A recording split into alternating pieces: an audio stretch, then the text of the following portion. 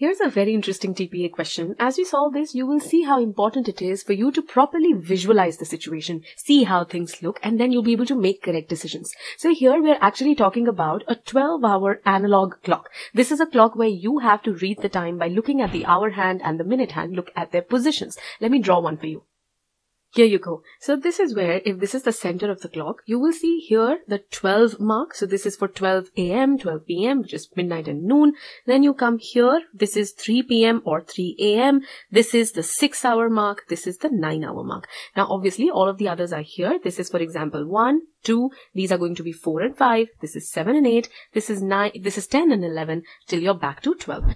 Now it's a 12 hour clock means that if you start here at 12 am, you'll go a full circle till you come back here at 12 pm. And after that you start again and you go in the entire afternoon and evening till you come back here at 12 am, midnight again. So it's a 12 hour thing which is marked on 12 hours, but you're seeing all 24 hours on the same thing. Now they describe some things about the hour hand and the minute hand. These are not unusual things and you can also figure them out yourself even if it were not given. So if I talk about the hour hand, it says it moves at a constant rate rate of one revolution every 12 hours. Now, revolution is a complete circle. It's very easy to understand.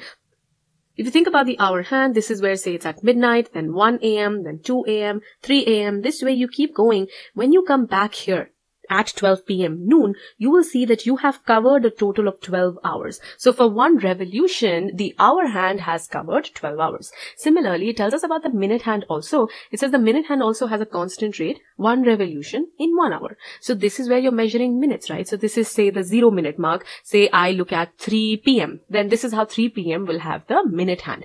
Then I will have the minute hand move till this position. So it's 15 more minutes. Then if it comes here, it's 30 minutes. Then 45 minutes. And and then you go back here, 60 minutes you've made a complete circle. 60 minutes is one hour. That's why one revolution in one hour. So they've given you things that you could have figured out, but because they have given, you don't need to spend any energy in trying to figure it out. Now, they talk about a specific time here. They talk about 3 o'clock in the morning and they say the hands are perpendicular here. That is absolutely correct because the minute hand will be pointing here and the hour hand will be here. And I can clearly see that they are perpendicular to each other. That's how the circle is divided. You have 90, 90, 90, 90 degrees. That's how it makes a 360 degree complete when you complete one entire revolution. Okay.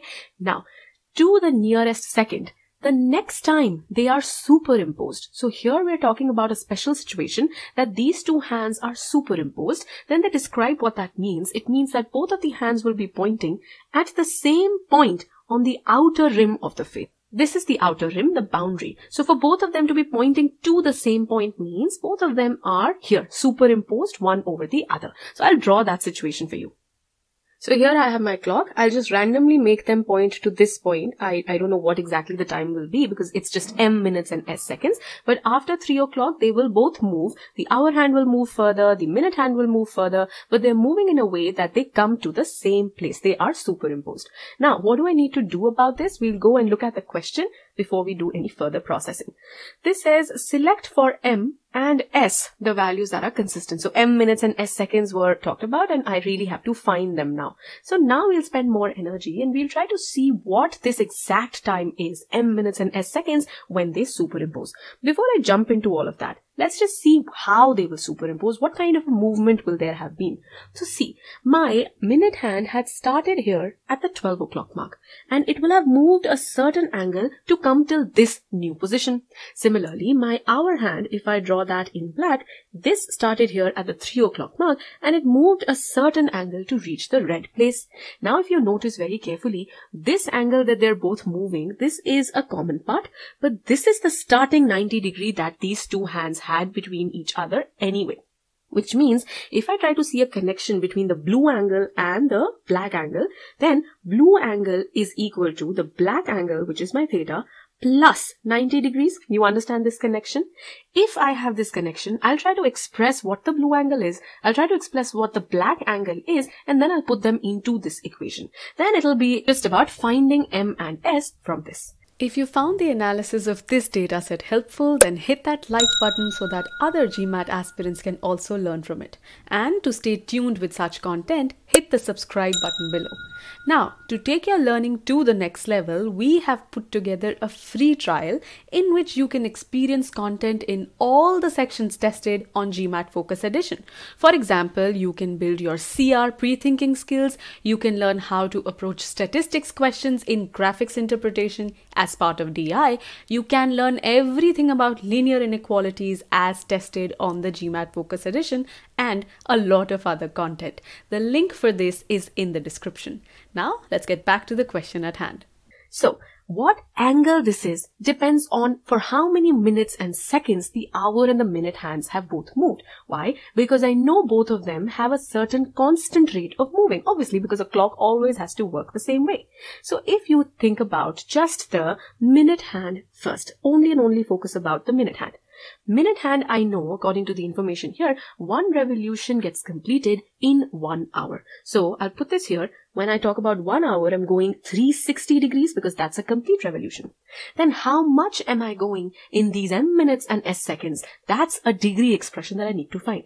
Now, instead of thinking about minutes and seconds and doing calculations for them separately, I'll just suppose that this entire time is x minutes. Obviously, this will come in decimals and that decimal part of a minute, I'll convert that to seconds later on.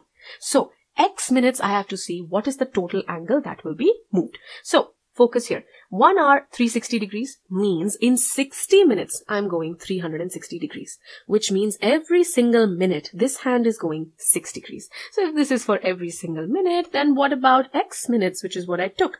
This then is going to be 6x degrees. And there you already have your blue angle, the minute hand angle. Okay. Now let's think about the hour hand. Again, for this, they have given us information that it's one revolution in 12 hours. And again, revolution is full 360 degrees. So in 12 hours, if I'm going 360 degrees, then first of all, I can get it for one hour. In one hour, I'm going 30 degrees. But because I'm interested in minutes, I'll have to look at this as 60 minutes 30 degrees. So from here you can get that every minute the hour hand goes half a degree. So what about x minutes then, which is our time of interest? This is going to be x by 2 degrees. And here you have your black angle. Now finally, I'm just going to combine both of these things with this starting relationship I had. At this point, let me ask you this. Could you have arrived at the approach of solving this question with this level of clarity had you not spent the effort in thoroughly understanding the information presented? Such is the power of the process of owning the dataset. And because this skill may not come naturally to many of you, we have created a course architecture that ensures that we teach you this skill through every guided quiz in the eGMAT DI course, and we reinforce the same in every practice quiz. In fact, in the TPA Quant modules in the two-part analysis course, we teach you how to get comfortable with this question type. You will gain the confidence to handle any question of this type in the most efficient manner.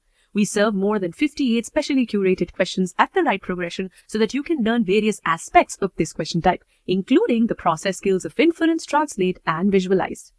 Thus, throughout the DI course, through around 500 questions, you will learn such process skills so that you can also comfortably use the owning the dataset approach. Let's now get back to the solution at hand. Right, let's do this together. So blue, which is 6x, is equal to black, which is x by 2, plus 90. I'll simply solve this equation. This is 11x by 2 is equal to 90. So x is equal to 180 over 11 minutes. This is the time that I am interested in. But my final answer is not in just minutes, it's in minutes and seconds. So I'll simply need to convert this further on. So I'll take this to my question and I will take the understanding that it's a total of 180 over 11 minutes and I'll simply now have to break it into minutes and seconds. And how do you do that? You just divide your 180 by 11 to get first of all the integer part of this answer. 11 ones are 11. Very simple calculations. Once you know what to do, you will see that your complete minutes are 16 here and then you have 4 by 11 11 of a minute extra. That's the part which will go into seconds. But since I have my minutes first of all, I already have M and I'm going to mark M as 16 here. And now I just need to convert this 4 by 11 into seconds. Well, I have to multiply that by 60 to convert the minutes into seconds. Now you can simply go on the calculator to find 240 by 11. You'll see this is very close to 21.8 and in our choices if I see the closest choice is 22 and I am done. Let's now nicely summarize this question. Very interesting visualization here. We had to think about something that most of us see in our normal life as well.